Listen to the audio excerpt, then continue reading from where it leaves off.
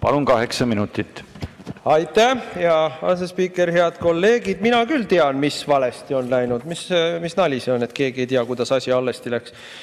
Räägime, nagu vanad roomlased ütlesid: cui bono, kes kasu saab.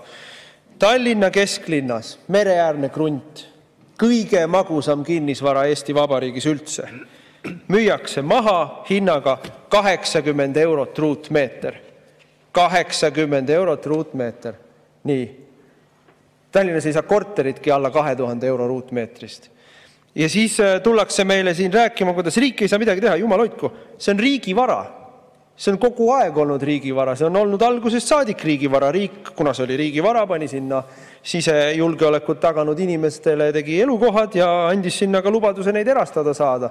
Aga siis tekkis meil Eesti Vabariigis selline eraldi suveräänne nähtus nagu Riigi Kinnisvara Aktsiaselts, millega ma muide valitsuses olles hirmsasti maadlesin.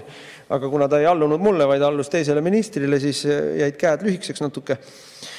Aga Riigi Kinnisvara Aktsiaselts, tuleb välja, on meil suurem ja tähtsam ja, võimsam kui Vabariigi Valitsus või ükskõik missugused Eesti seadused.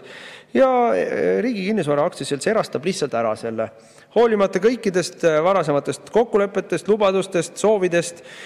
Mis see siia puutub, et Tallinna linn ei teinud mingit planeeringut? See ei puutu üldse asjasse. See kuulub Riigi Kinnisvara Aktsiaseltsile ehk Eesti riigile otseselt allub tegelikult valitsusele. Tegelikult Riigi Kinnisvara Aktsiaselts allub ikkagi läbi oma nõukogu valitsusele. Ja nüüd mõned toredad kuupäevad, eks ole. 12. oktoobril tuleb meediasse sellest lugu.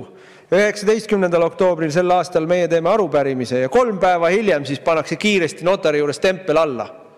Kolm päeva hiljem pannakse tempel alla. Et kui me arupärimise tegime, siis oli veel müük lõpetamata, aga noh, kähku-kähku. Et, et siis saaks juba öelda, et ups, oleme fakti ees see on lihtsalt nii tüüpiline näide sellest, kuidas Eestis ei ole õigusriiki. Et noh, ma lihtsalt iga kord ei tea, kas nutta või naerda või noh, irooniline muie tuleb näo peale, kui meil Kaja Kallas räägib Eestist kui õigusriigist. No ei ole õigusriiki. Eesti õigusriik töötab ainult Reformierakonna teenistuses. See on ju meile kõigile selgeks saanud, et Liina Kersna kulutab ära kiirhanke peale kindla käega 7 miljonit eurot, et osta teste. Õigusriik ütleb, kõik on koššer Peaminister kindla käega laseb meil lahti seitse ministrit ja valitseb poolteist kuud üksinda. Keegi ei näe mingisugust ühtegi rikkumist mitte kuskil, mitte midagi. Peaminister kindla käega paneb meil koroona ajal oma režiimi kehtestamiseks põhiseaduse üldse riiulisse. Ütleb, et nüüd on nii, sundvaktsineerimine ja vallandamised ja maskid ja ma ei tea, mis kõik asjad. Politseikoerad saadetakse peale kohvikutele ja nendele jõusaalidele kindla käega aga vaata ühte kuradi kinnisvara müügitehingut – ei, ei, ei, ei, ei, sellega meie ei tegele. Sellega meie ei tegele. Peaminister ei tegele seebi ostmisega hädas olevatele kodanikele.